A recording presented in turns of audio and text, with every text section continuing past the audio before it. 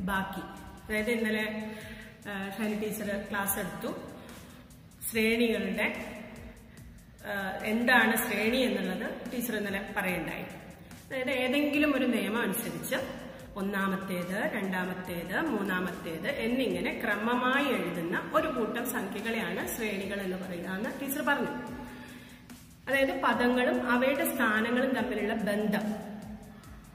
അത് സംഖ്യാപരമായിട്ട് എഴുതാൻ നിങ്ങൾ കഴിഞ്ഞ ക്ലാസ്സിൽ പഠിക്കേണ്ടായി ഇന്ന് നമ്മൾ അതാ ബന്ധം ഒരു നിയമം അഥവാ ഒരു ബന്ധം. ആ ബന്ധം എങ്ങനെയാണ് ബീജഗണിത രീതിയിൽ അല്ലെങ്കിൽ ആൾജിബ്രേക്ക് ഫോമിൽ എഴുതുക എന്നാണ് ഇന്ന് നമ്മൾ പഠിക്കാൻ വേണ്ടി പോകുന്നത്. ആദ്യം ഏറ്റവും ചെറിയ ഉദാഹരണത്തിലൂടെ നമുക്ക് തുടങ്ങാം. ഏറ്റവും ചെറിയ ഉദാഹരണം ആദ്യത്തെ സംഖ്യാശ്രേണി എഴുതാൻ പോകുന്നത് one two three four etcetera ഒന്നാമത് അതായത് അത് ഞാൻ വിചാരിക്കുന്നത് ടീച്ചർ വിചാരിക്കുന്നത് ഒരു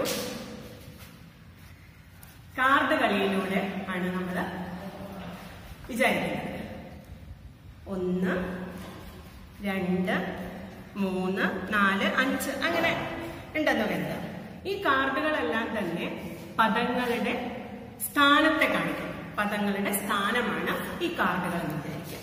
പദങ്ങൾ നമ്മൾ വയ്ക്കാൻ ഉദ്ദേശിക്കുന്നത്. ഈ മുത്തുകൾ ഉപയോഗിച്ചിട്ടാണ്.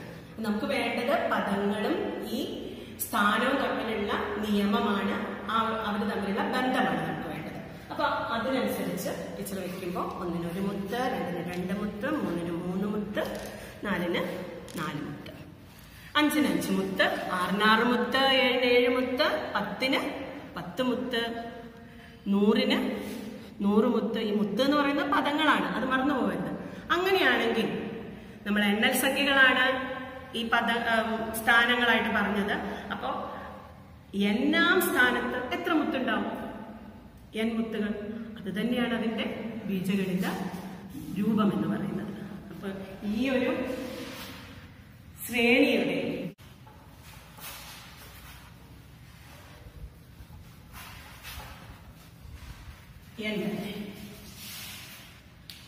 അടുത്തതിൽ അടുത്ത എക്സാമ്പിൾ എടുക്കുന്നതിൽ ടീച്ചർ ഒന്നും കൂടി കൂട്ടുന്നു. അതായത് ഇതിലൊക്കെ ഓരോ മുത്തും കൂടി വെക്കുന്നു. ഓരോ മുത്തും കൂടി ഇതിൽ വെക്കുന്നു. അപ്പൊ എന്തായി? രണ്ട് മൂന്ന് നാല് അഞ്ച് എക്സെട്ര അതാണ് ശ്രേണി. രണ്ട് മൂന്ന് നാല് അഞ്ച് എക്സെട്ര ഇനി ഇതിന്റെ ബീജഗണിത രൂപമാണ് നമ്മൾ കാണാനായിട്ട് ശ്രമിക്കുന്നത്. അപ്പൊ നോക്കൂ. ഒന്ന് സ്ഥാനവിലയുള്ളിടത്ത് രണ്ട് പദം. രണ്ട് മുട്ട് രണ്ടാണ് പദം. രണ്ട് എന്നുള്ള സ്ഥാനവിലുള്ളിടത്ത് മൂന്നാണ്. അപ്പൊ ഈ ഇത് തമ്മിലുള്ള ബന്ധമാണല്ലോ നമുക്ക് കാണേണ്ടത്. അപ്പൊ ഈ ഒന്ന് എന്ന് പറയുന്ന സ്ഥാനവില ഉള്ളിടത്ത് നമ്മൾ ഇതുമായിട്ട് ബന്ധപ്പെടുത്തുമ്പോൾ നമുക്ക് എന്താ എഴുതാം? ഒന്ന് പ്ലസ് ഒന്ന്. ഇവിടെ അതേപോലെ നമ്മൾ എന്ത് ചെയ്യുന്നു? രണ്ടാണ് ഇവിടുത്തെ സ്ഥാനം രണ്ട് പ്ലസ് ഒന്ന്. ദെൻ ഇതിലതേപോലെ മൂന്ന് പ്ലസ് ഒന്ന്. ഇതിലതേപോലെ നാല് പ്ലസ് ഒന്ന്. ഇനി അഞ്ചാമത്തെ സ്ഥാനത്തുള്ള പദം അപ്പൊ എന്തായിരിക്കും? അഞ്ച് പ്ലസ് ഒന്ന് ആറാമത്തെ സ്ഥാനത്ത് ആറ് പ്ലസ് ഒന്ന് പത്താമത്തെ സ്ഥാനത്ത് പത്ത് പ്ലസ് ഒന്ന് നൂറാമത്തെ സ്ഥാനത്ത് നൂറ് പ്ലസ് ഒന്ന് എണ്ണാമത്തെ സ്ഥാനത്ത് എൻ പ്ലസ് ഒന്ന്. അത് തന്നെയാണ് എന്റെ ബീജഗണിത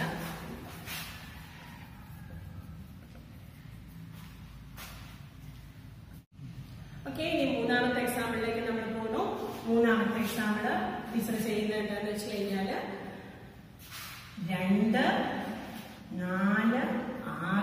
എട്ട് എക്സെട്ര ഇതിന്റെ ബീജഗണിത രൂപം എന്താണെന്ന് കാണാനാണ് നമ്മൾ പോകുന്നത്? അതിനതാ ടീച്ചർ ഇവിടെ വെച്ചത് കണ്ടില്ലേ? ഒന്നാമത്തെ സ്ഥാനത്ത് രണ്ട് മുത്ത് രണ്ടിന്റെ സ്ഥാനത്ത് നാല് മുത്ത് മൂന്നിന്റെ സ്ഥാനത്ത് ഇത് ആറ് മുത്ത് നാലിന്റെ സ്ഥാനത്ത് ടീച്ചർ എട്ട് മുത്ത് വെച്ചു. ഓക്കെ ഇനി നമുക്ക് കാണേണ്ട എന്താണ്? ഈ സ്ഥാനം ഈ പദവും തമ്മിലുള്ള ബന്ധം. ഈ ടേമും ഈ പ്ലേസ് വാല്യൂ തമ്മിലുള്ള ബന്ധം അപ്പൊ നമുക്കറിയാം ഇവിടെ രണ്ട് മുത്താണ് വന്നിരിക്കുന്നത്.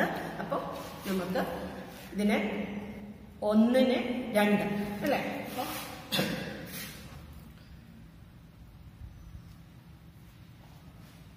ഇവിടെ രണ്ട് പ്ലസ് രണ്ട് എന്ന് എഴുതാം. ഇവിടെ മൂന്ന് പ്ലസ് മൂന്ന് എന്ന് എഴുതാം.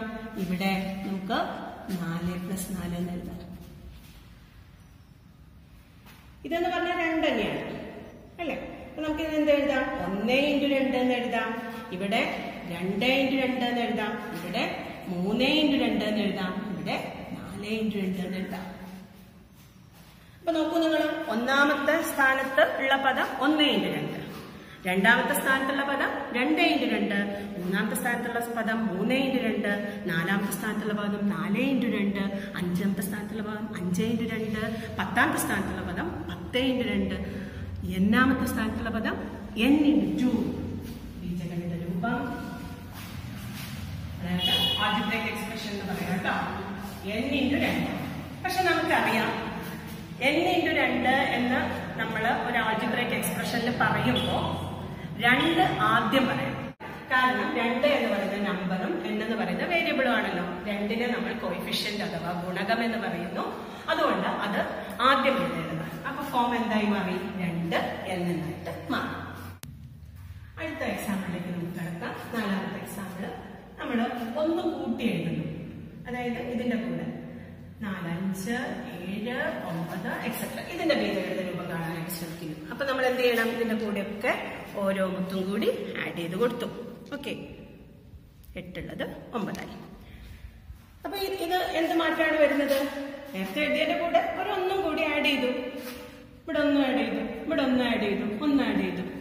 അതായത് ഒന്നാം ഒന്നാമത്തെ പൊസിഷനിലുള്ള ടേം എന്ന് പറയുന്നത് ഒന്ന് ഇന്റു രണ്ട് പ്ലസ് ഒന്ന്. രണ്ടാമത്തെ പൊസിഷനിലുള്ള ടേം എന്ന് പറയുന്നത് രണ്ട് ഇന്റു രണ്ട് പ്ലസ് ഒന്ന്.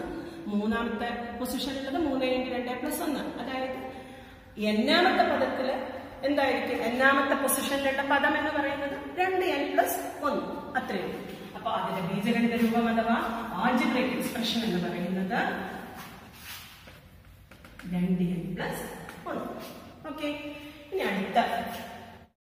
അഞ്ചാമത്തെ ഉദാഹരണത്തിലേക്കാണ് നമുക്ക് പോകേണ്ടത്. ഇനി ചെറിയൊരു വ്യത്യാസത്തിലാണ് നമ്മൾ പോകുന്നത്. ഒന്ന് ശ്രദ്ധിക്കാം ഒന്ന് നാല് ഒൻപത് പതിനാറ് ഇരുപത്തിയഞ്ച്. എക്സെട്ര ഇതിന്റെ ബീജഗണിത രൂപം എന്തായിരിക്കും? അതായത് നമ്മൾ പറഞ്ഞു ഇത് ഒന്നാമത്തെ പൊസിഷൻ ഇത് രണ്ടാമത്തെ പൊസിഷനിലുള്ള ടേമോ ഇത് മൂന്നാമത്തെ പൊസിഷനിലുള്ള ടേമോ അപ്പൊ നമുക്കൊന്നും ഇവിടെ ഇനി ഒത്ത് വെക്കുന്നില്ല. ഇനി ഒന്ന് നമുക്ക് ഇവിടെ നിന്ന് നോക്കാം. ഒന്ന് രണ്ട് മൂന്ന് ആണ് ടീച്ചർ താഴെ എഴുതുന്നത്. നാല് അഞ്ച്. ഇത് തമ്മിലുള്ള ബന്ധം എന്താണ്? ഒന്നിന് ഒന്ന് തന്നെ. രണ്ടിന് പക്ഷെ എഴുതിയത് നാലാണ്. അപ്പൊ നിങ്ങൾക്ക് വേണമെങ്കിൽ പറയാം രണ്ട് പ്ലസ് രണ്ട് നാലല്ലേ എന്ന് പറയാം. പക്ഷെ അങ്ങനെയാണെങ്കിൽ ഒന്ന് പ്ലസ് ഒന്ന് ടീച്ചർ രണ്ടല്ലേ ഇവിടെ എഴുതേണ്ടിയിരുന്നത്? നിയമം എല്ലാവർക്കും ബാധകമാണ്. അതുകൊണ്ട് ഒരേ ഒരു നിയമം എടുക്കാൻ പാടുള്ളൂ. അപ്പൊ ഒന്നിന് ടീച്ചർ എഴുതിയത് ഒന്ന് തന്നെ രണ്ടിന് ടീച്ചർ എഴുതിയത് നാലാണ് മൂന്നിന് ടീച്ചർ എഴുതിയത് ഒമ്പതാണ്. അപ്പൊ എന്തായിരിക്കാം തമ്മിലുള്ള ബന്ധം? മൂന്നിന് ഒമ്പതാണ്. മൂന്ന് പ്ലസ് മൂന്നാണെങ്കിൽ ഇവിടെ ആറാണ് ടീച്ചർ എഴുതേണ്ടത് അതല്ല എഴുതിയത് എന്തായിരിക്കാം? നോക്കി നോക്കാം. ഒന്നേ ഇന്റു ഒന്ന്. അതേപോലെ രണ്ടേ ഇന്റു രണ്ട്. മൂന്ന് ഇന്റു മൂന്ന് നാല് ഇന്റു നാല് അഞ്ച് ഇന്റു അഞ്ച് എക്സെട്ര അങ്ങനെയാണ് അത് വരുന്നത് അപ്പൊ ഒന്നേ ഇന്റു ഒന്നിന് നമുക്ക് ഒന്നേ സ്ക്വയർ രണ്ടേ ഇന്റു രണ്ടിന് രണ്ടേ സ്ക്വയർ മൂന്നേ ഇന്റു മൂന്നിന് മൂന്നേ സ്ക്വയർ നാല് ഇന്റു നാലിന് നാലേ സ്ക്വയർ അഞ്ചേ സ്ക്വയർ. പത്താമത്തെ പൊസിഷനിൽ വരുമ്പോ ടേം പത്തേ സ്ക്വയർ. എണ്ണാമത്തെ പൊസിഷനിൽ വരുമ്പോ term n square. Algebraic expression n square. രൂപം എൻ സ്ക്വയർ. ഓക്കെ ഇനി ഇന്നത്തെ ക്ലാസ്സിൽ ഒരു മൂന്ന് ഹോംവർക്ക് ഹോംവർക്ക് ഇല്ലാതെ മാത്സ് ക്ലാസ് അവസാനിക്കില്ല. ഈ ഓരോ ടൈപ്പിൽ നിന്നും ടീച്ചർ ഓരോ ക്വസ്റ്റ്യൻ ഹോംവർക്ക് ആയിട്ട് തരുന്നു. നിർബന്ധമായിട്ട് നിർബന്ധമായിട്ടും ചെയ്യാം. സംശയം ഉണ്ടെങ്കിൽ വാട്സപ്പ് ഗ്രൂപ്പിൽ നിങ്ങൾക്ക് ചോദിക്കാവുന്നതാണ്. ഓക്കെ ഒന്നാമത്തെ ഹോംവർക്ക്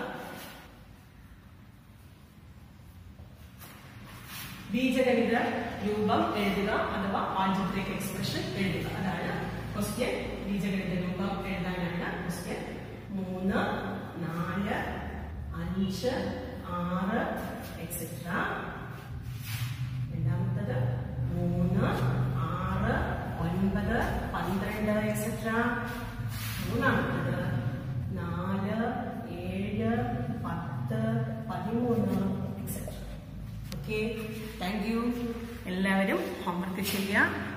സംശയം ഉണ്ടെങ്കിൽ വാട്സപ്പ് ഗ്രൂപ്പിൽ ചോദിക്കാം. Okay thank you thank you for listening